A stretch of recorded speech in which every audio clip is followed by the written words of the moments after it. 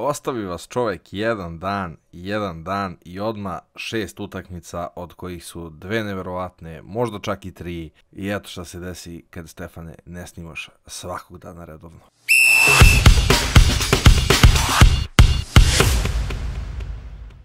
Dobrodošli u još jednu epizodu Courtside Talks, ja sam Stefan, a vi ne zaboravite da se subscribe na kanal, jurimo 2000 subscribera kako bismo napravili još jedan giveaway, ali o tom potom danas imamo naravno sve tri aktualne teme, Ava Liga, Euroliga i NBA koju ćete prvo, evo da prvo krenemo od ABA lige, pošto je najjednostavnija, zato što se desilo da su sve ekipe koje su bili favoriti uspeli da reše prvu seriju, odnosno finalnu seriju play-offa sa 2-0 i da pobede u gostima i tako pođu u polufinale. Zvezda će u polufinalu igrati protiv Mege, a Partizan će igrati protiv budućnosti u terminu koji će biti naknadno određen od strane ABA lige, zato što je do, došlo do nekih komplikacija ili već ne znam čega. Partizan je vrlo lako došao do pobede u Laktašima protiv Jugokije, 101-80 je bilo. Zvezda za razliku od prve utakmice protiv Studenskog centra gde se baš poprilično namučila da dođe do pobede, u drugoj utakmici nije bilo apsolutno nikakvih problema i pokazala je dominaciju, dobila je 92-77, a Mega je dobila Cedevit Olimpiju izbacila iz dalje takmičenja u gostima, dobila 85-71 u takođe jednoj veoma efikasnoj utakmici. Tako da već imamo polufinalne parove i nastavit ćemo seriju odatle. Naravno, ne snimaš još jedan dan i onda ti krene i Euroliga. Playoff je počeo sa dve utakmice od kojih smo jednu manje više znali ishod zato što je Real igrao protiv Baskoni, odnosno prvi protiv osmog i Real je došao do pobede što se i očekivalo i to nam samo pokazuje da ona posljednja utakmica da je Baskon igra protiv Reala baš nije za reper jačine ekipe Baskonije ili ekipe Reala, uzmite kako hoćete. Što se tiče ekipe Reala u ovoj utakmici najefikasniji bio John Musa sa 16 pojena, dok je sa druge strane bio Marcus Howard sa 15 pojena od koga ćete drugo očekivati nego od Markusa Howarda, međutim Baskonija je tu utakmicu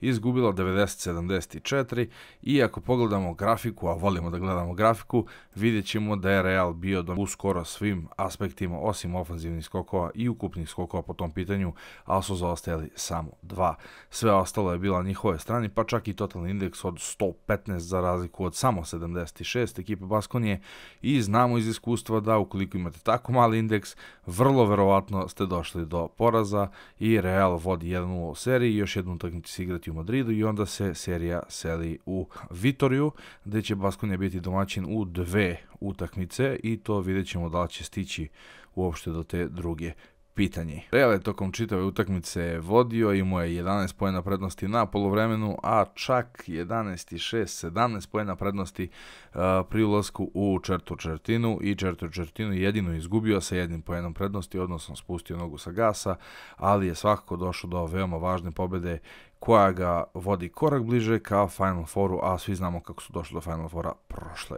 godine. A što se ekipe Baskone tiče, Markus Howarda je pratio i Rogokav, Rogkavopulos, uh, koji je takođe šutnuo 9 trojki, uh, neverovatno je imao 4 od 9 za 3 poena i Markus Howard je takođe šutnuo samo 9 trojki imao 15 pojena ukupno. E, takođe su ih pratili Matt Costello i e, Cody Miller McIntyre. Tada se Dekerski je podbacio, imao je samo 3 pojena, a čim imamo neki nije igrao u utakmicu i mislim da će biti out za ovu i sledeću tako da ne može Duško Ivanović da računa Monekija, ali nešto mi se čini da u ovoj seriji ni pet Monekija ne bi pomoglo protiv ekipe Reala. A selimo se na drugu utakmicu koja je bila po mišljenju mnogih mnogo zanimljivija. Ekipa Panathinaikosa je na svom terenu u Atini dočekala ekipu Makabija, odnosno drugi protiv sedmog i došli smo do prvog iznenađenja gde je Makabi uspeo da savlada Panathinaikos. na oduševljenje svih iz Tel Aviva i cijele ekipe Makabija. Makabi izborio tu pobedu u gostima koja se može ispostaviti da je veoma važna, no vidjet ćemo kako će se serija završiti. Što se tiče ekipe Panathinaikosa, najefikasnije je bio Matijas Lesor sa 22 poena, dok je u ekipi Makabi Bonzi Colson dodao 18. A takođe su efikasni bili, možete pogađate ko u ekipi Makabija, svi ajde da kažem, inostrani igrači, Josh Nibo, uh,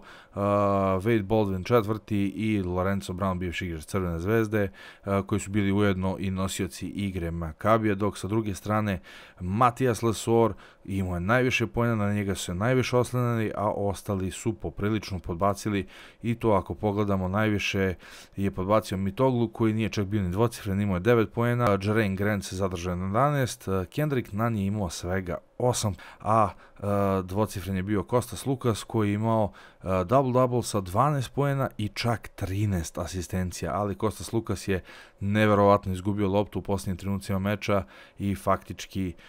obezbedio pobedu Makabiju i može se reći da je Panathinaikos ovu utakmicu započeo, uh,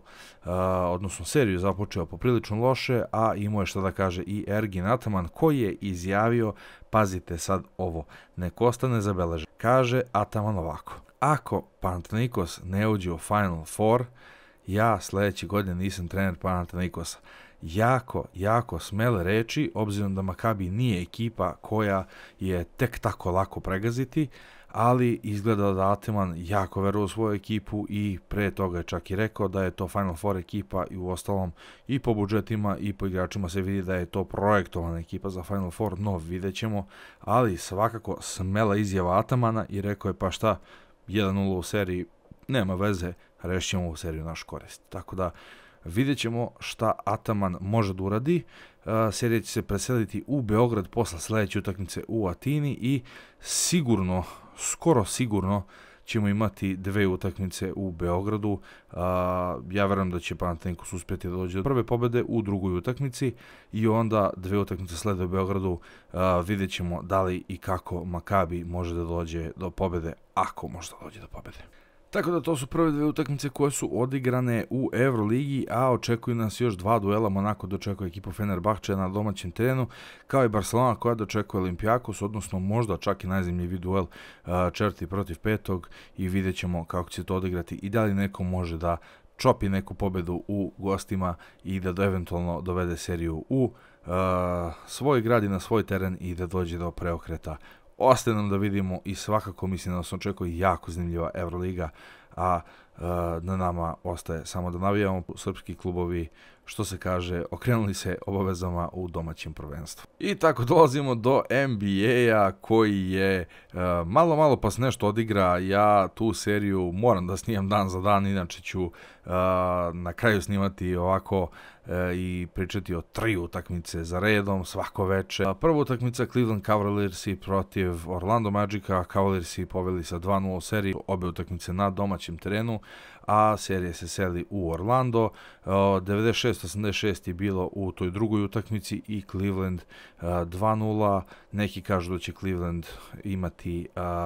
čast da uzme metlu u svoje ruke i da početi Orlando sa 4-0, međutim, ostane da vidimo Orlando sad na svom terenu ima totalno drugačiju podršku i verujemo da će uspeti da dođe do nekih pobeda. Ali ta serija je možda i najnezanimljivija serija od svih serija do sada,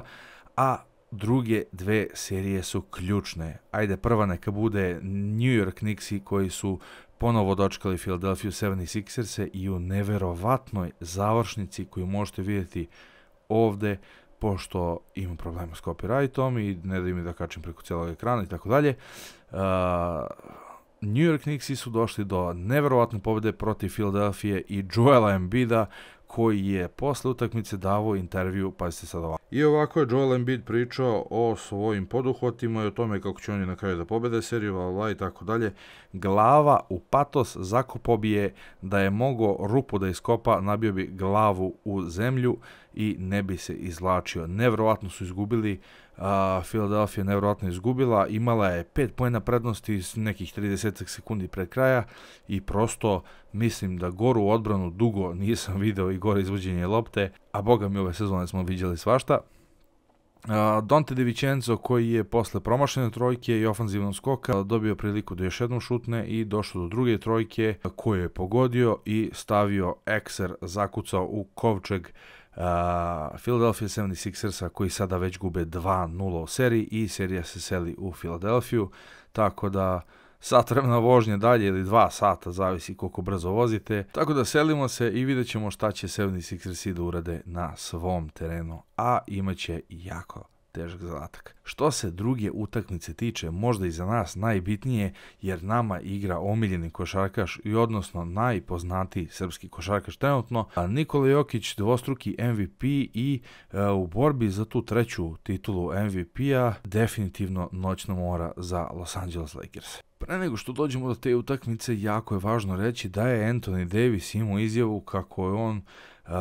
Defensive Player of the Year, ali nikad neće dobiti tu nagradu, uh, odnosno nagradu za najboljeg defanzivnog igrača i kako može da brani pick and roll, sve od 1 do 5, uh, lupa banane, uzima skokove i tako dalje i tako dalje i onda Jokić u dve utakmice mu da 50 plus poena i na drugoj je imao triple-double sa 20 skokova. Ako se setite, jedini koji je postizao toliko skokova na jednu utakmici bio je Dennis Rodman. Tako da Anthony Davis moraš još da radiš, a uh, Denver je tu utakmicu dobio 101-99, odnosno košem u posljednjoj sekundi. Jamal Marija posle promašenog otvorenog šuta Lebrona Jamesa za 3 poena gde je Lebron svoju ekipu mogao da dovede do pobede, međutim promašio. Michael Porter Jr. uhvatio skok, Jokić je počeo da komanduje odbranom, što mi se jako svidelo. Najsporiji čovjek na terenu kaže ti levo, ti desno, ja ću napravim blok pa će se spustim dole i Jamal uzme sve u svoje ruke, šutne i pogodi za veliku pobedu Denvera i 2-0 u seriji i sad se serija seli u Los Angeles pa ćemo da vidimo šta će se desiti tamo i da li Denver možda doći do brejka pa eventualno seriju završi kod kuće sa 4-0 ili 4-1, to jest kod kuće ako bi bilo, onda bi bilo 4-1, inače ako uzmu dva brejka bit će 4-0, tako da sve su oči uprate u Denver, ali sve prognoze kažu da će Denver na kraju iz te serije izaći kao pobednik i ići na boljeg iz duela Minnesota Phoenix Sunsi. Da bi bilo to od utakmica. Ja se nadam da ste uživali u klipu, definitivno previše utakmica gledat ću da kačem svaki dan, kako bi što manje utakmica morali da uh, pratimo dnevno i kako bi što preciznije, odnosno efikasnije, odnosno zanimljivije, pokušali da izanaliziramo pokušali da izanaliziramo svaku utakmicu i a, da malo pustimo nekih replayeva i nečega, samo da skontam da li to smijem da radim. Pošto mi YouTube lupa a, reused content, strike-ove, copyright i šta ja znam, ali bavimo se time i a, pretpostavio sam da će do toga jednog dana i doći. Ja se nadam da ste uživali u klipu, ne zaboravite da lajkujete ovaj video i da se subscribe-ujete na kanal, što se kaže, jer od toga živimo. Uh, vidimo se koliko već sutra, nadam se sutra, sa novim vestima i sa mnogo zanimljivih detalja sa svih ovih a, terena, dešavanja, liga i tako dalje. Do tad, budite mi pozvani. Ćao!